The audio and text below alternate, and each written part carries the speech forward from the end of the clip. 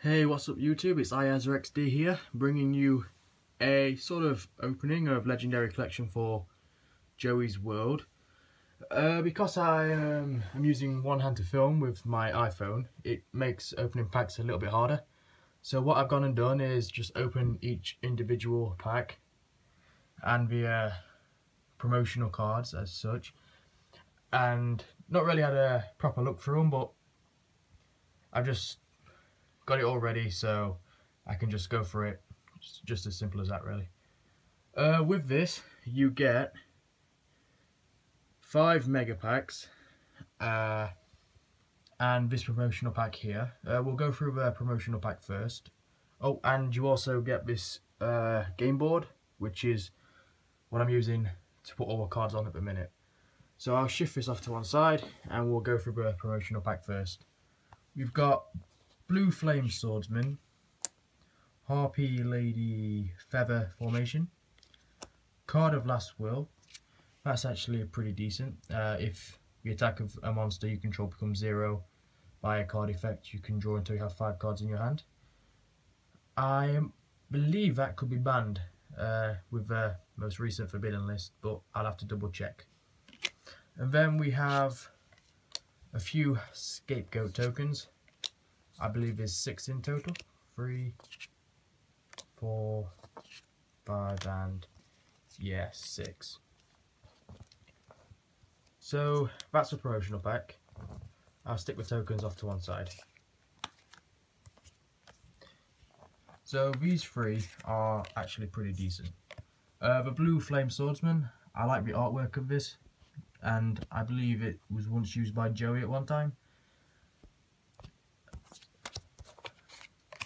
Uh, so yeah, as I said, I've opened all these mega packs uh, beforehand because I'm obviously using one hand to film. Uh, from a first pack, just chuck that up there, I don't really need that. Pulled Axe Raider, Drop Off, Amazoness Village, Red Eyes Zombie Dragon. Mm. Nice. I was hoping for a Red Eyes uh, Darkness Metal Dragon, but either way that'll do. Black Horn of the Heavens, Call of a Haunted, Bottomless Trap Hole, Revival Jam, and Dice Reroll. So that's alright. Not a, not a bad pull. Uh, the second pack, again I'll just chuck that up there. Pulled Labyrinth War, Gatling Dragon. That looks pretty nice actually. But you need Barrel Dragon and Blowback Dragon. Gravekeeper's Visionary and Monster Reborn. Uh, yeah, it's a shame that Monster Reborn's banned, but it is slightly overpowered if you can take a monster from either player's graveyard. Amazoness Paladin. A Pot of Greed. Ooh, I like that. Then we have ooh, Fiendish Engine Omega, I believe. Strike Ninja, and Barrel Dragon. Uh, the third pack, again just right up there. Zoa, Meteor of Destruction, Megazowler, ooh, Toon Summon Skull. That's actually quite nice. I'll just stick that to one side. Oh dear. Yeah. Then we've got, ooh, I'm not sure how to pronounce this. Be uh, Beach, uh, Vanguard of Dark World. I could be wrong on that pronunciation, so don't have a go at me, please. Then we've got Pot of Avarice. I'm not sure if that's banned, and if it's if it's not, but it probably is, then I might use that in one of my decks. Harpy Lady 2. Guilford the Lightning and Vampire Baby. Just straighten that out a bit. Uh, so, the fourth pack, we've got Cybertech Alligator, Swordsman of Landstar, Armored Zombie, ooh, Black Skull Dragon. I've been after this card for quite some time now. Spirit Reaper.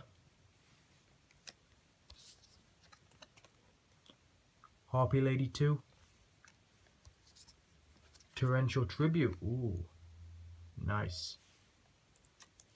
Another Vampire Baby. And another Fiendish Engine Omega. Uh, the last pack. I got Dangerous Machine Type 6, a Dragon Zombie, deal with uh, the Dark Ruler, and oh yes, Red Eyes Black Dragon, another one I was hoping to pull from one of these 5 packs. Very nice. Uh, Harpy Lady 3. Oh, and Harpy's Feather Duster. It's a shame it's banned, because it does have quite an amazing ability, and especially if you play a Harpy deck, it just fits well in there. We have Red Eyes Wyvern. That'll probably fit with a Red Eyes deck. Little Winguard. And last but not least, we have Needle Wall. So yeah, that's what I pulled from my Legendary Collection for Joey's World.